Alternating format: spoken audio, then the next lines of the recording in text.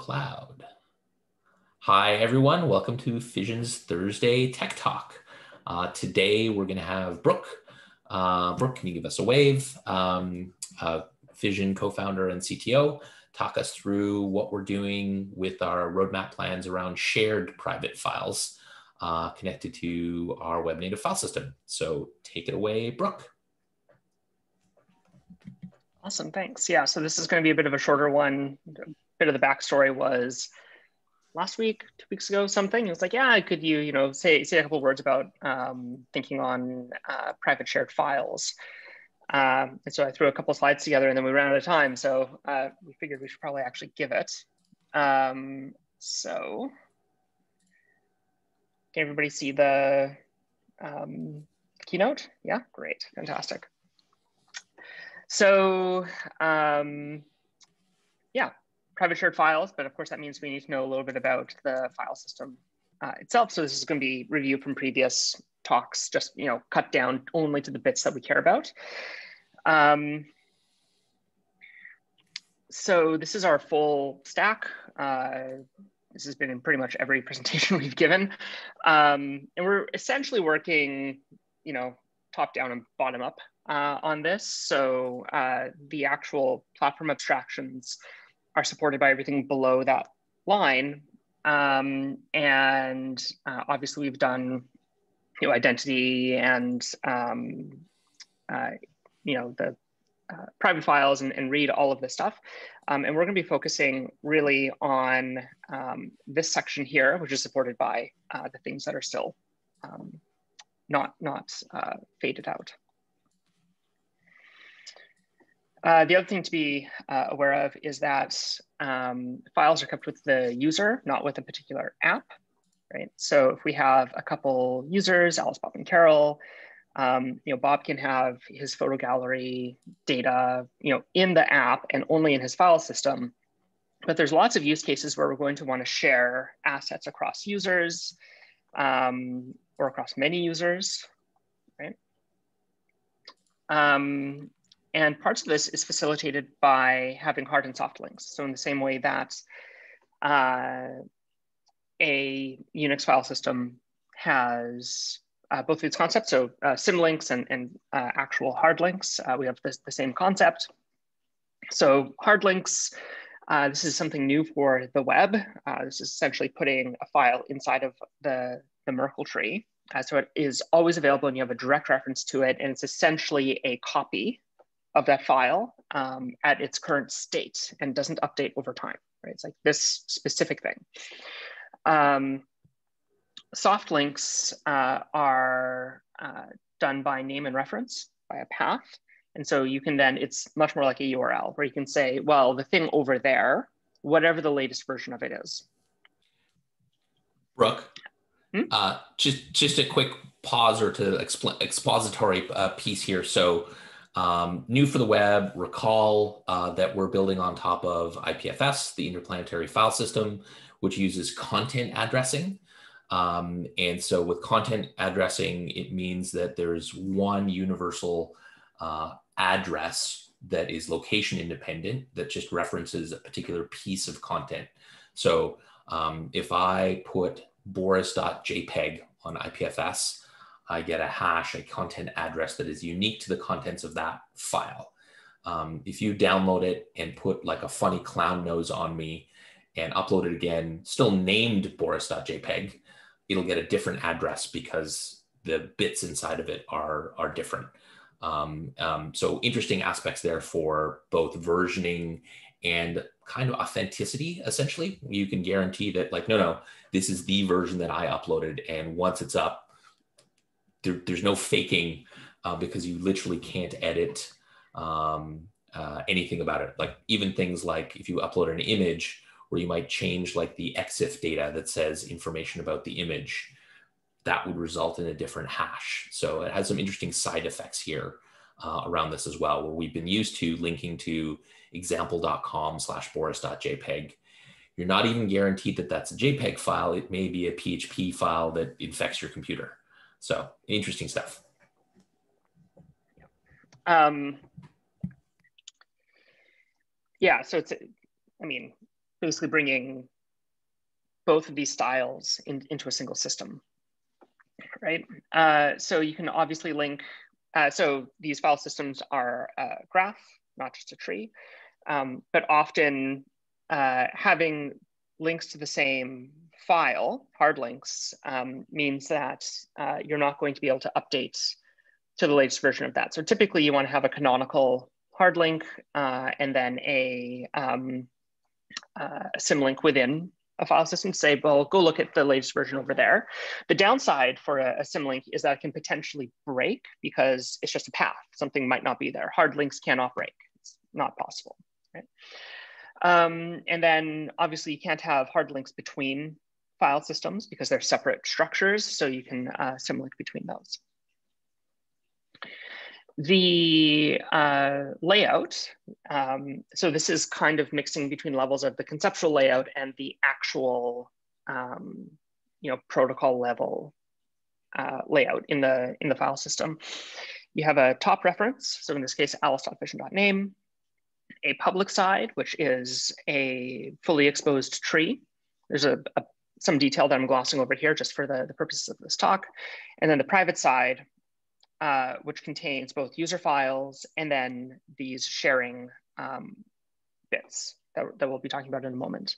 The private nodes uh, are still one of these trees, but each layer is encrypted um, with an AES key um, and then given keys for all of its children. So each file um, and each directory has its own key and each directory contains the keys for its direct children. And then, you know, recursively you can get. Uh, so if you have access to, in fact, that's the next slide. If you have access to say this uh, orange section, you have access to everything below that, including the red bits. Um, but if you only have the red section, you don't see orange or the black. And when you say don't see, part of this design really is as well so that um, uh, you don't leak other parts of the, the file system to if you don't have access to it. Yes, yeah. So it, this is the same uh, model as, uh, you know, systems like uh, Dropbox or Google Drive or, or any of those where if you have access to, you know, this directory, you can see everything below it, but you have no idea about anything else in the system. We've gone and spent uh, time hiding a bunch of the metadata. It's hard to correlate files unless you have a key, an entry point, and then you can begin to discover the structure uh, inside. So again, I'm glossing over massive parts because otherwise this would be a four hour talk. Um, and yeah, so it, it, scrambles the structure. So everything sits in a, um, gets encrypted, it gets a special naming convention uh, that is entirely based on the keys, so uh, has nothing to do at all with the uh, user file name. Um, scrambled, placed in this uh, uh, tree structure that's really um, like a, a, particular kind of prefix tree, um, which gives us really good access, uh, arbitrary access inside. Um, and then as you're discovering the structure in the tree, so you're given an entry point, which is just one random node uh, it also includes links to the other nodes in this tree. And so you can then start to build up a materialized view uh, of a decrypted uh, file system. So really the question becomes, how do we get you that entry point, right? So, uh, Brooke, the, uh, there's just asking a uh, particular kind of prefix tree. I think that's a CHAMP, right? This is a CHAMP, yeah which stands for? I don't even remember. Um, it's a hash. Uh, it's a kind of hash prefix tree. Uh, so uh, all all of the stuff is uh, is or will be in the white paper, um, and uh, uh, we keep iterating over what this is. I think we it used to be um, a Merkleized Patricia tree, but then we realized that this was more efficient. Uh, yeah, so um, this is still technical. Uh, the, the major difference between this and a uh, modified Merkle Patricia tree is uh, this isn't laid out in a content addressed form. This is still named, but the naming scheme is based on the keys, and that's uh, has to do with uh, ah. write access permissions, uh, zero knowledge write access permission. Um, but that's that's an entire UCAN talk. So uh, essentially, you can give, uh, and this is on the, the, the white paper, you can give access to write to any subset of the tree, uh, where the validator doesn't know anything about the contents or what's related, other than um, a bit mask uh, to match against these names, and that's that's it.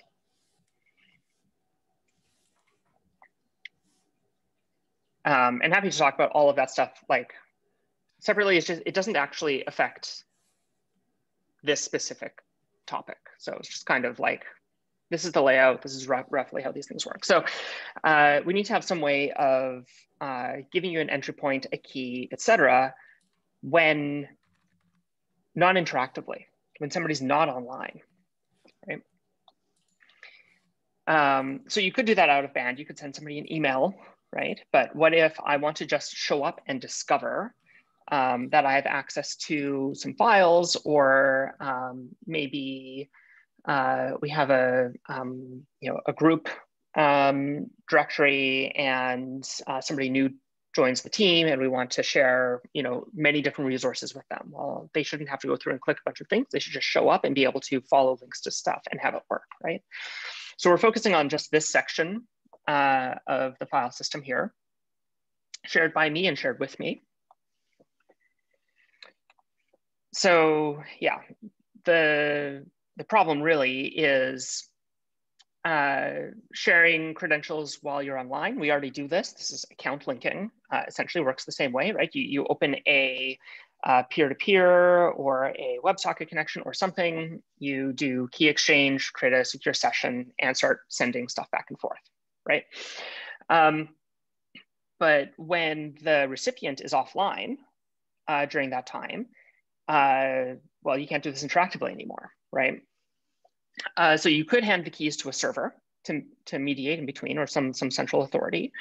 Um, you could use a password, right? Um, problem with passwords, they're not very secure, they're very clunky.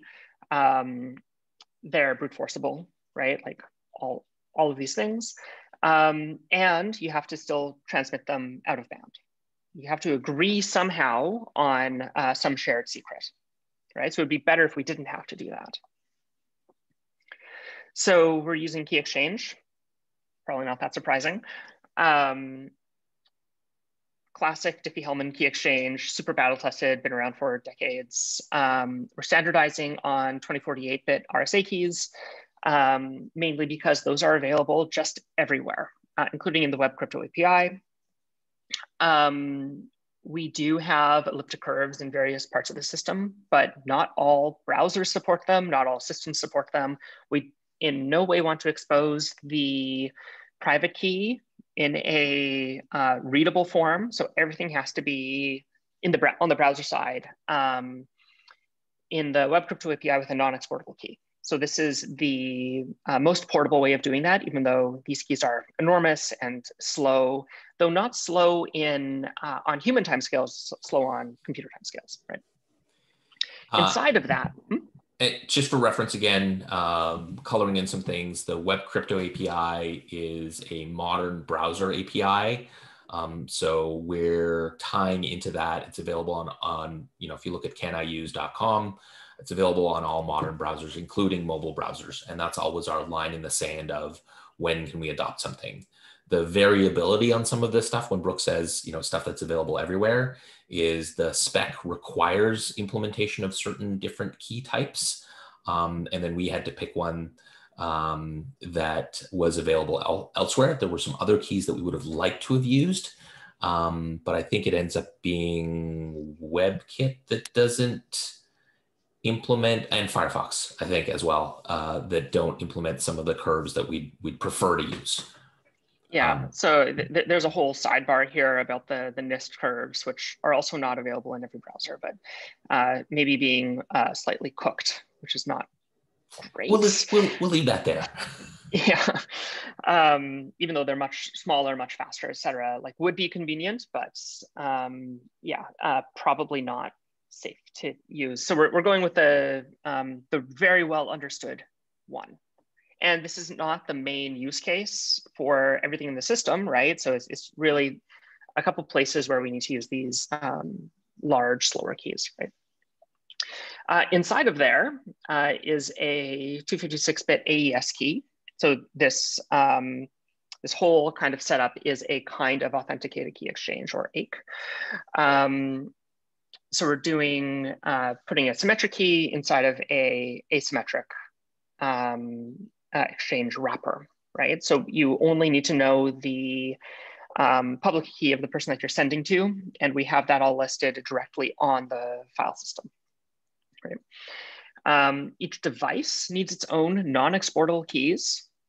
Um, so every browser, every CLI, et cetera, needs to have its own set. Um, and this key cannot be reused for signing for crypto reasons, basically. Uh, it must be only an exchange key. Um, so you end up with two sets of keys. You have an exchange key and then a signing key, right? Or the signing key is not used for this, this specific use case. Um, so yeah, the actual files that you want to send, which are then encrypted in AES, and then that key is encrypted with uh, RSA. So the file sharing uh, itself, uh, so you'll have a, uh, for each of your uh, recipient keys, these exchange keys, um, Brooke, Brooke uh, there's just some questions here that I want to make sure that I mm. answer. Um, uh, Jury or, or David, do you want to, can you, uh, uh, do you want to explain what you're trying to ask? I don't know if we were asking the same thing. Geary is still muted. Um, you you got to get the public key from somewhere, right? So it's still an out of band exchange that has to happen somewhere, or is that? It's right available? on the file system how so it's listed right on the, yeah yeah you mentioned that i was like so how does it look oh uh, so if you have access to the file system at all in the public side you can list here's the keys you can find me at.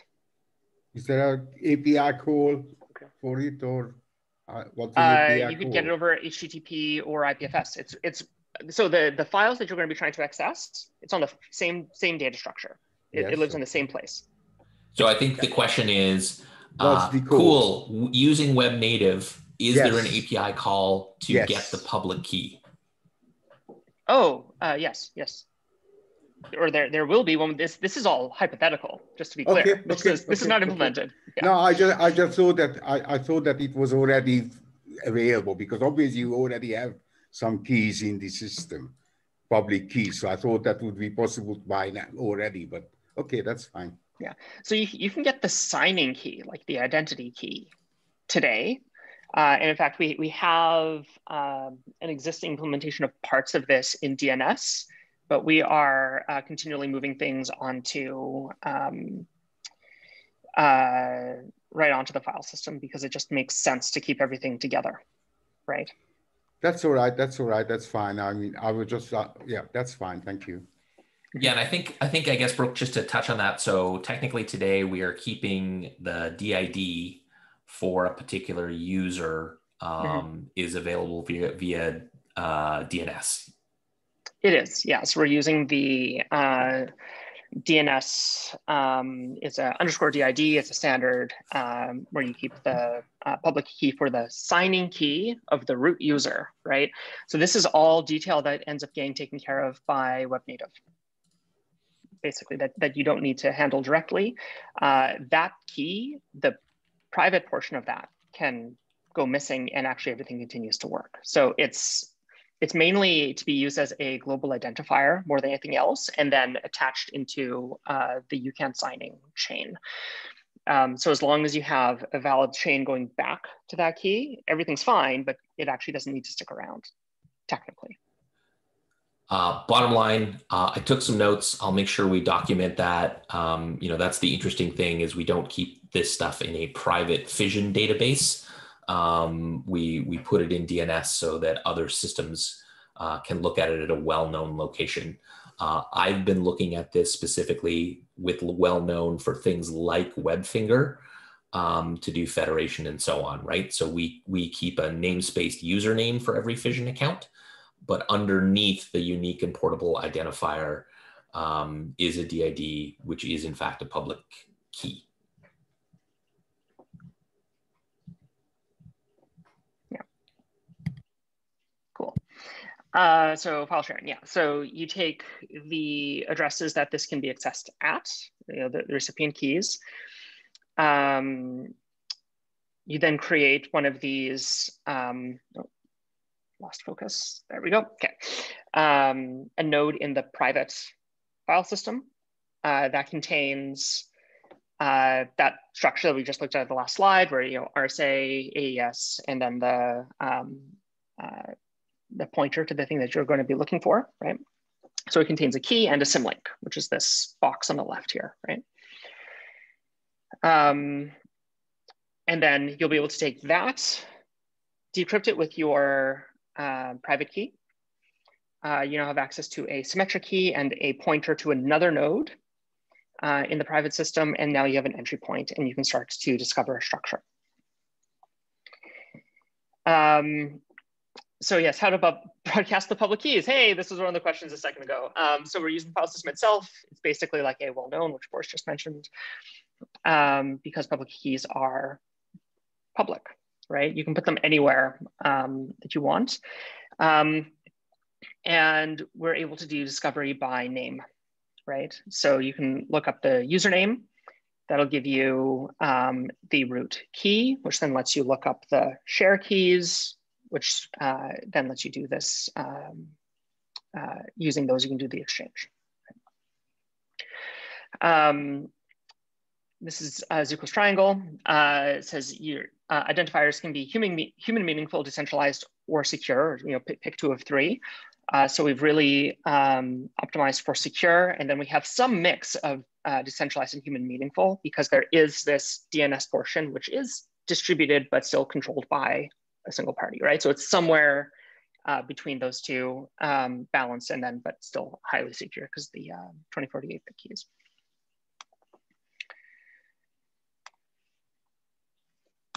Um, yeah, uh, all of these end up stored in the same tree as all the private files. So it has all the same security properties uh, as that. Um, there's um, index name is different space is huge. Yeah, I mean, oh, right, yeah. So uh, this doesn't have to live in the private file system as in the root of the file system doesn't have to be um, there doesn't need to be a path down so that if you share the root, they can see all of what everybody else has shared, right? You can actually live in a separate, again, in this materialized view, when it's gone from those you know, red nodes into a green, you, we can actually store multiple trees in there because we tear down the structure and, and store it in this, uh, in this tree uh, at the end. So it doesn't have to be um, uh, in the file system, right? It's actually a separate structure, even though it's at the storage layer, at the protocol layer. It's uh, in, in the single tree. Uh, we're not worried at all um, about uh, running out of names or having a namespace collision because it's just, the space is massive in there. Um, this is what the name uh, scheme looks like, right? So sender exchange key, recipient exchange key. Uh, so you do end up with, ha uh, you have to share n times m keys. Um, but uh, the number of devices tends to be small. And even if it's not, uh, the actual sharing, um, so the it's doing the writes that you have to come up with this many.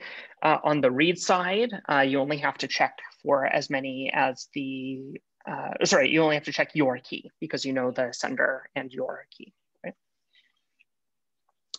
Um, and that's the, yeah, that's the same time complexity I just uh, said. So you know, this is uh, low single digit uh, keys from both parties typically. Um, it's done infrequently, and uh, again, it's fast on human timescales, uh, even though uh, on machine scales, this is uh, because RSA fairly heavyweight. Uh, so the actual lookup, so we think of trees this way, but I'm going to rotate it like this for um, just to fit everything on the slide. Uh, this is the user entry, um, which is the shared bit. This gives you the uh, entry point into the file system. and then you can start um, grabbing uh, uh, more nodes as you as you go down and you start discovering the structure, right?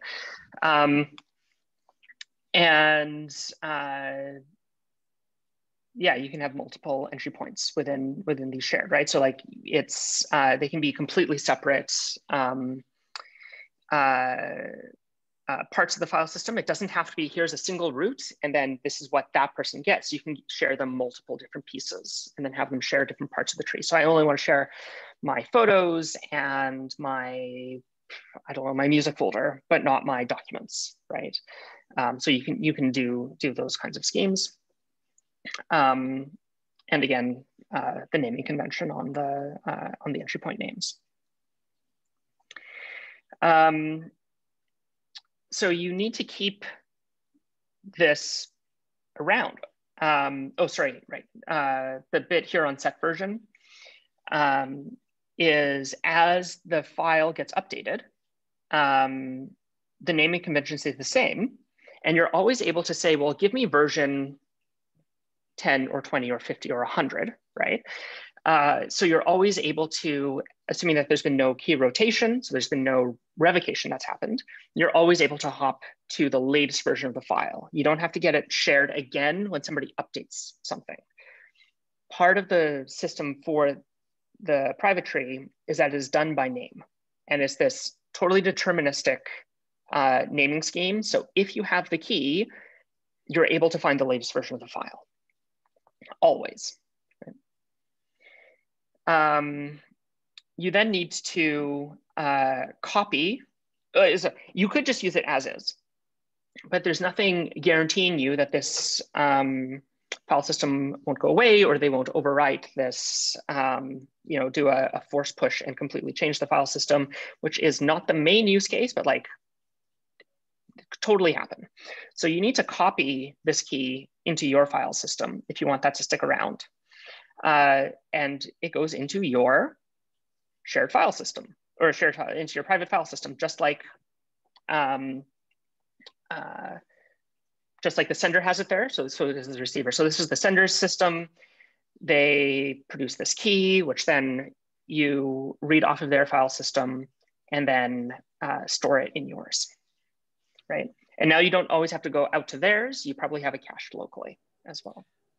And so this is uh, effectively uh, like um, an Apple keychain is how we're thinking about this segment. Mm-hmm. Yeah, basically. So there's uh, there's some other stuff that we're doing with keys that are um, that are interesting for other use cases. But yeah, we, we we've really started to settle on this uh, keychain concept where um, you know here's shared files um, and all the keys you need for that, but also, you know, maybe we're going to be storing, you know, parts of BLS keys and stuff like that for other use cases uh, as well. So there's a lot of use case uh, around key management here. So um, all of this detail um, uh, and setup so that we can get async sharing, security, keep it performant, uh, automated discovery of new files uh, or new versions of files, um, fully key-based, so no, not password, um, and um, uh, to do this all autonomously. Uh, and builds on the existing implementation. So there's um, actually at the storage layer, there's very little for us to do. It's mainly uh, actually going and implementing the like, okay, well, I'm gonna have to look something up. And, you know, so it builds on top of the existing uh, system entirely. Um, uh, yeah, so all that really needs to happen is um, moving the exchange keys. I mean, technically they can live in DNS, but moving those onto the file system and um, the actual uh, you know, lookup of the key based on address uh, or on address based on public key um, and storage of that key uh, in, in your file system. So it actually ends up being fa fairly lightweight to, uh, to implement relative to the other things we've been doing, right? Can you, can you uh, actually uh, uh, I mean, we can give you if, if that's it. Let's give you uh, let's give you some it. jazz hands. um, uh, I'll jump in with a with a question. So, uh, anonymous link based sharing. Uh, can you talk about uh, what that is? So, th- this is essentially recall everyone. This is available in, in Web Native. You have an account. You've got single user. You can read other people's public files again by discovery of of their username their public files are at a well-known location so you can share files like that and um, but you can't write to other people's private file system uh, public file system so this is shared rewrite of things that are private between n people um, what is anonymous link-based sharing Okay, yeah. So um, you can do sharing two ways. One, you could literally post like uh, because it's all uh, exchange key based. Uh, somebody could brute force their way through every file system, but you could post a link and say, "Hey, here's the link to the thing," and only the recipient can use it. So, hey. Um, and the only way that they would know who it's even for is if um, they knew both the sender and the receiver's keys. So it's the only way to know who it's for is to already know who it's for, right? Um, the other thing you can do with this is uh, do away with the um, RSA layer entirely um, and start doing out of band um, communication. So this doesn't uh, completely get rid of or uh, preclude the ability to do, you know, send by an email and then have, you know, a query param that includes the private, uh, the, um, the symmetric key on it. Totally could do that uh, with the security trade-off that that comes with. But if I wanted to send a file to somebody who didn't have uh, a webnative account, then or a Fission account, then um, it's still doable, right? Right. So this is the general use case of uh, Dropbox or G Drive or whatever, where you're you're saying you know anyone can view, uh, and doing that on a per file base or per directory base. Yeah. Correct. Yeah. And with read only permission. Read only permissions. Yeah. Yeah. Uh, yeah. Ultimately, um, if you want to give uh, uh, some other permissions, people are going to have to have an account so that they can do things, right? So that, that's how things work. Um, other questions? Uh, yeah, um, key rotation basically means you could revoke access for somebody, right? Mhm. But then, Yeah. they, then they basically still have access to potentially previous versions, like just like you would in Dropbox, like you might have downloaded the stuff from before. Yeah, exactly. So uh, th- this actually ends up uh, working really nicely with the rotation use case because you rotate the key, you want to get rid of somebody, but you want to leave everybody else there. Well, now you need to reshare the new key, right? So if we have automatic discovery of keys, the next time somebody comes in, they're like, oh, I can't read that thing. Is there a new key? Yes. Okay, cool. And they can keep going. So, so this is roughly again, kind of how things work today. Um, you know, depending if you're on and offline centralized systems, et cetera, where you've got a shared folder in Dropbox, you know, if you actually have the files on disk and you don't reconnect to Dropbox, we can't yank those from your system. In fact, they're not encrypted. They're sitting on your file system in your operating system. Um, if you do go online, uh, then they'll get yanked, uh, sort of thing. But we can't like we can't prevent the bits from not being out there, but the people don't have access going forward. Yeah, exactly. So in uh, it is possible. So as much as as much as we can, we want the system to be uh, immutable and have you know versions and you know all, all all of the nice things that make us convenient. Um, but you know, there's definitely cases where somebody will post something that they shouldn't have, and will need to overwrite history. To- totally doable, right? So there there is that case that we have to think about. Peter, Uh, Peter. Yeah, so um, one of the things that I've worried about a lot with this stuff is, uh, you know, if I share some a link with someone on Dropbox and then I change my mind, right, I have technically they may have grabbed it and taken it, but practically, if I do this quickly, there is a very small window, and this kind of like time box disclosure is like uh, often is seen more commonly these days in the security community with like SPAKE implementations and things like that. And you know, with the Automerge, hyper merge design, specifically like DAT IPFS, well, if you accidentally disclose a key, you're snookered. There's no way to revoke that. Is there any consideration in the system now to like, oh, it turns out I don't want to work with this accountant anymore. I'm going to revoke access. And if they hadn't downloaded these files, they no longer have access to them, or is that kind of out of scope for the current design? Yeah, so you can uh, remove the, if, if I'm understanding the, the question correctly, you can remove the shared, um, the, the key exchange, the, the Diffie-Hellman uh, Yeah, portion. so they're gonna they're gonna get the link, but it won't work when they click it because you've revoked. Correct, yeah. Yeah, so if they haven't looked at it at all yet, that's the easy case of the, the share is just not available anymore. That's just gone. Yeah. Which again is same as uh, I, I think the scenario that you said about uh, the the oops of of of deleting the Dropbox share.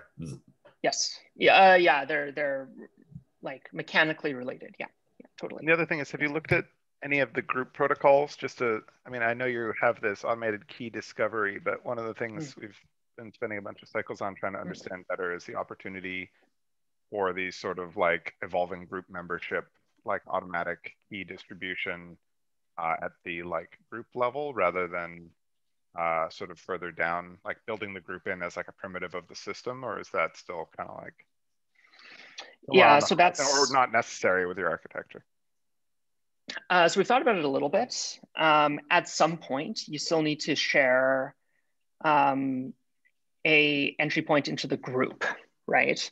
So it still ends up from the like the high level. You still end up needing to do this kind of a share, but then inside of that uh, uh, group um, directory, right? And uh, I mean more in like phone, phone book directory sense, right? Um, uh, or, or index, uh, you have keys to all and keys and pointers to other uh, things, which may or may not be on the um, uh, on the same file system, right? So it's like we can have links and keys really to any uh, anything. Um, doing uh, revocation there is trickier because now you have to keep track of here's the different things I'm going to revoke, right? Um, but we thought about it a little bit. It's not something that we've um, uh, that we're baking in in some like major use case way uh, upfront, but it's definitely uh, the well. What if I want to work on this collaboratively with a bunch of other people in the company? Um, is something that we we do think about from time to time. Yeah. Yeah. So I, I think generally, Peter, like at some layer, um, baking in organizations or groups makes total sense. Um, and exactly what, uh, how those are easily discoverable and a few other things like that, including um, that we, you know, whether or not you leak the names of the groups or not, or if they're meant for public consumption, right? Like um, you could build Facebook like systems with some of this stuff or you could build stuff that looks like GitHub with it, and you or and and Twitter lists for so for some of these things you don't really necessarily want, um, you know, a group where the label that is people that I don't like Yeah, Twitter has this problem with with is lists. visible. Yeah. Uh, Uh, yeah, I mean, this is something we're we're spooling up a project on at, at the lab right now on that side of things, unrelated to the work you're doing here. But um, we're looking at whether we can sort of invert the idea of identity, so you don't have a central registry everybody looks people up in, but that you can establish trust without, uh, and I- sort of the socio-technical mechanisms for that. Yeah, there, there's even a thing of like that. So, uh, you know, underneath there's this whole decentralized identifiers piece that that is there. Um, I am still thinking about, and and Brooke mentioned well known. Um, I did a quick experiment actually, and I and I think there's some interesting things around verified credentials. That pattern Uh, of even just being like, are you allowed to see the name of this group of people? You can ask for it and know that in this context, uh, we we verify that this is the name for this group. Um, so we have some building blocks here, but you're absolutely right. I think a lot of the social technical things are exactly the part that are, that are like we need to get Yeah. there. The the provocation from Cade Diehm at the New Design Congress, who if you haven't talked to, you should be following his work. He basically argues that a lot of the problems with our centralized systems are that these central registries of names and images where other people define the names for you are what expose us to phishing attacks and other kinds of things. And so his take is that rather than having one registry where other people offer you their names, people introduce themselves to you and then you give them a name. This is a Hmm. little bit like the known hosts file in an SSH uh, key pairs system, where you Mhm. connect to a system, it offers you some random string of bytes, and then you're like, yeah, cool, I've seen this string of bytes before, but without it, I wouldn't be able to demonstrate that. I think this is it's not quite, but it's almost the terrible. it's the inverse also of saying, hey, I have a well-known, and these are the the labels that I'm that I'm okay publicly associating with myself, which you can feel free to use as a hint, so I'm not a hash when I show up. Yeah, and it's tricky, right? And and this is what we're going to be exploring. We don't have answers yet, but we're going to spend a few months on this um, with a group we're putting together right now. But his contention is that that is basically deeply problematic because anyone can, you know, on the internet nobody knows that you're a dog, but but more accurately, on the internet anybody can claim to be a dog. Uh, and so he says, rather than allowing people to claim identities, they should just introduce themselves in a way where you can you can name them in the moment. And so figuring out the right user experience and workflows around that will let us mm. build trust. So the idea is that the group doesn't say like, oh, this is fission. Boris says this key here represents fission. And then I accept it and say, yes, that's the fission group. And that the group itself doesn't have a name associated with it in the metadata. And so no one can spoof it and present me a new alternate group that's like, yeah, yeah, send me your like secret business plans for world domination to the fission group. Here's the fission group. Because then I would be like, I don't know what group this is. I've never seen this before. It doesn't come from someone. I think related, the two things that I think of that are related to this. So one is uh, out in the wild, uh, there's status.im. Um, so they're an Ethereum based system uh, that does messaging. Uh, so it's a chat client on mobile that you can download this live today. Um, um, and they use a thing where, where um, yeah, labels essentially happen completely out of band where um, you know they generate much like we generate subdomains that they just generate a name and you have to out of band be like oh okay this is you know uh, benevolent old yeti is actually boris. Yeah. um, so and then the second piece being is the work that um, the matrix team is doing on decentralized reputation. Um, so there's also maybe something like i've got a 90% confidence inf- uh, interval that this is in fact boris Cool. Yeah, these are interesting problems. Um, you know, we'll we'll continue to do the work on our end and, and share it with with everybody else. amazing Yeah, I'm I'm pretty um, uh, I'm I'm very interested in that. Uh, we already have so sort of like the 99% of the the system that we have is uh, totally you know not human readable named, right? We only introduce like a, a username concept at the topmost layer, and everything below that is just uh, keys, right? And and DIDs. Um, so there's really nothing stopping somebody from having multiple users na- usernames or on a federated system having you know the same uh, maintaining the same file system or the same resources at multiple different names it's actually Yeah. fine technically but then like well how do you do the coordination i don't mean mechanically like how do i um right What, so what's you, the user up with- experience? what's the And- user experience Th- This is the big puzzle, and so Cade has kind of provided this provocation. He's a security researcher. He used to be at SpiderOak back in the day, and all these kinds of things. And you know, he writes all these critiques about our our peer-to-peer systems and how we're Mm. making these repeating these mistakes. And so I was kind of like, well, we better put up or shut up. So we're going to go try and figure out whether this works. But his whole case is you can't let people present names to other people in your identity system. That is actually the problem. That's the original sin is that people offer you the name. And if you can't mm-hmm. offer a name, then you can't spoof the name. People name identities that are offered to them anonymously, and then you give a pet name to it, and that can't be spoofed or, or interceded on because the other the identity doesn't know what its name's supposed to be. Now, can you do that in a way that doesn't suck to use? Is the real question. Because Uh, I obviously nobody wants to live in a world of like, yeah, I have 17 friends and they're all totally opaque crypto hash DIDs. Yep. I will say as one tiny piece of evidence, this might not be a totally bad idea. Um, there are a couple of interesting systems of prior art out there. One is actually the Steam friends list. Because Steam's friends list, everybody has named some stupid thing that they, you know, chose for a Steam ID, you know, 25 years ago or whatever. Everybody, no one on my Steam friends list is their Steam account name. They're just the name of the actual person.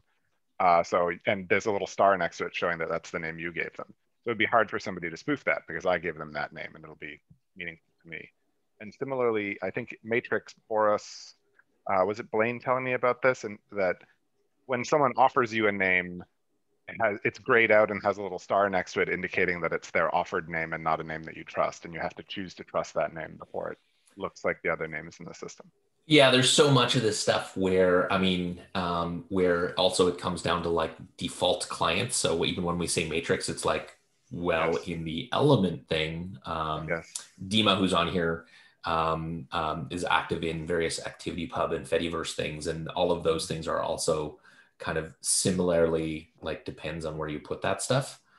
Um, yeah, so um, uh, Matrix has a lot of building blocks that are worth looking at. I, I like actually also they have um, community flair, Peter, which is worth looking at. Mm, um, uh, like literally that concept of you can choose for a group or a room. Like technically, an identity is actually a room, and so a like uh, a chat between two people is just a a room, and that's that same atom. Hmm. Um, but you know how much of these things do we map to things that people actually understand today? Yeah Dis- discord's like allowing you to rename yourself in different yes. contexts. This yeah. another good example. yeah per server right? Uh, yeah i really like that one too right? Where it make and and it specifically it's the like you were saying and the steam thing. It's the 2020s problem of yeah all the centralized usernames are now taken it's unfair to make someone be uh, uh, brooklyn uh, um, 1987. Exactly. Correct. close. So close. So close. Uh, yeah. Amazing. Uh, other questions? Jerry, you have you have a hand up.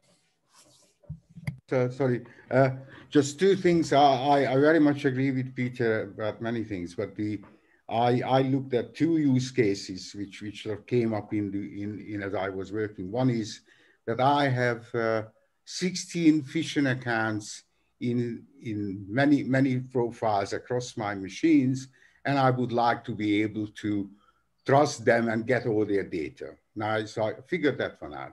And then I, I moved to the next stage, which is uh, I wanted to build in a little analytics into, into my app.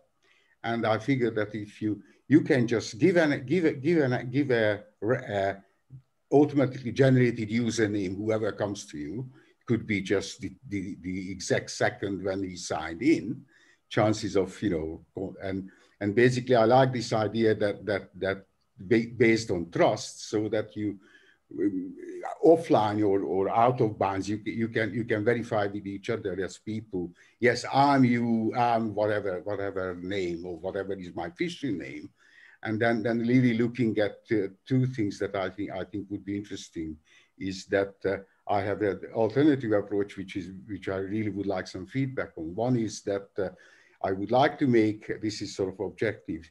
Would like to be make the granting of access completely dynamic.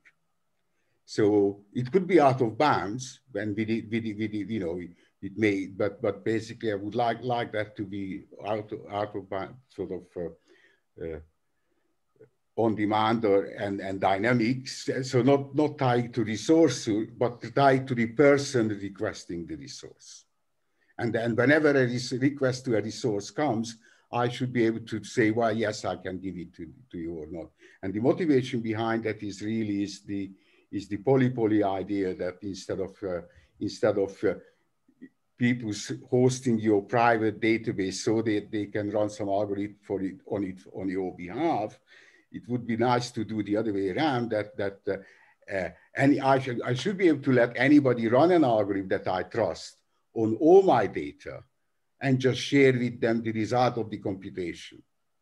Okay. So that, that these are just alternative use or, the, or additional use cases that I, I'm interested in, and I wonder if anybody interested in these. Yeah. Yeah. So the uh, um, compute bit is actually kind of where this whole thing started, yeah. but that's yeah, there's yeah, a lot yeah. to build before we get there.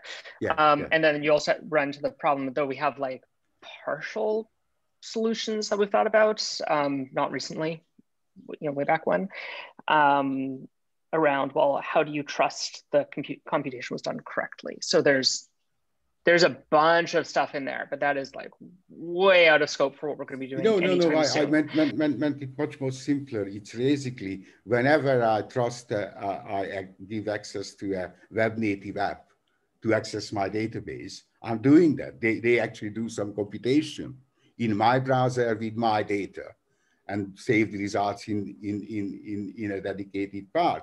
So it's, I'm not talking about anything beyond that. So I'm not talking about, right. but anything that that that that, that possibly even open source or possibly goes. Yeah. yeah. So, so, the, so, the system as it's designed today supports that. Yeah. We haven't exposed it as an API, but you can do that today. Yes, I know, not, I know, not, I know. Yeah. So so there's a couple things. Um, some early users have um, many accounts, and that is a bug, not a feature. Uh, generally, from a usability perspective, the way that we think about it, and you know, as developers, I think there's a whole piece of, oh, I need some other accounts for testing to to like make sure that it works the way that I think it does. So I totally get that. Uh, like literally, our own team um, uh, deals with that a ton. Um, uh, we recently had some interesting things where um, uh, we realized the advantages of the system.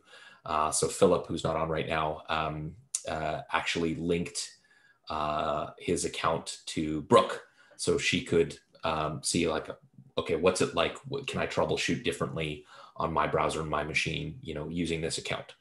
Um, a, ideally, we think of this certainly the Fission instance platform that we run for usability and end users and so on. Um, that typically users will only have one account. We haven't flipped the switch yet on this as well, but it uh, roughly also is um, a, a, uh, single email address as well. So the mental model I have of this is Apple's iCloud system. No, you no, no. Mostly, I, I, sorry, sorry, sorry. I'm, I'm not saying that. What I'm saying is that the, that I'm just trying to simulate the, the situation when somebody else is using another account and we're trying to to exchange uh, information and that that that that that uh, authorization could be dynamic. That's all i'm saying. i don't know what dynamic means because that's literally what we're doing today. Um, and that's what this whole presentation was about that it yeah okay. that it will be that it will be dynamic and that's how we're gonna no no no sorry. I, I, meant the dynamic is that that that instead of uh, you granting access to a part of the tree the people people can can ask you for some part and then you you you respond whether whether you want to got it. Yeah, that's what i asking, meant by dynamic. asking for permission so right? you so yes that's what i mean. Yes so yes. so that's a higher level thing and those are some of the ui things of of of how we do that. So for instance if you're both online then much like device linking uh, mm-hmm. there might be a request in there. Again we have to worry about things like phishing and other things like that of exactly how that will work. Um, it might also just work because you don't know if the other person is online or offline uh, that you but you know their username. So so let's assume that there's some knowledge in here yeah, right? You either yeah, know their the email address yes. or you know their username. Let's let's say those are the two. Both of those things are things that the fission stuff uh, the fission system knows about. Um, you could also just know their subdomain but ultimately those are kind of the same thing. Yeah. Um, um, and then that person says hey can i get access yeah. Um, um, and then out of band would be some of that approval on on how that stuff happens, right? So um, yes, that's that will need to be built into the system rel- relatively simply. So again, th- think of exactly how you want to build those things, and we have the primitives for that. Yeah. Okay. Thank you. Uh, other questions? This was a pretty deep dive. So um, if you if you uh, don't have a picture of, of uh, the webnative file system in your head, it might have been uh, um, a bit much. I actually uh, will take all of these comments and links and link back to the presentation that uh, Brooke and Daniel did. I think that's going all the way back to last November now when we did the full uh, WNFS overview. Um, ultimately, this is very much under the covers of how it works at Fission. Mental model is kind of like an iCloud account um, that we're assuming and have built this in a way that it's very, very secure. So it means that we can do things like put a keychain into it and do other sharing with that. Um, we're pretty excited about this and lots of people want to get to, you know, shared private stuff. And this also is some of the building blocks for, um, you know, we talk about files, but these are the same building blocks for uh, database-like structures, right, Brooke? Yeah, exactly. Um, it's uh, all, all these things are uh, prerequisites. Yeah. Yeah. Um, yeah. So this is on the roadmap. We will have multi-user shared private files. Um, you know, and there's another layer above this as well of like, oh, I want to use this. I want to make this work in real time or uh, for various chat use cases and so on. But we have to build the basic use cases of shared, um, and then we can do things um, uh, which then can be asynchronous and online or, or, offline. And then, of course, will be the use case, as Brooke showed at the very beginning of the stack, of uh, online at the same time and stuff that feels more real-timey, right?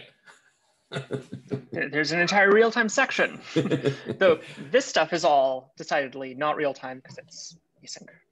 Exactly. Awesome. Uh, thank you, Brooke. I'm going to stop the recording button now.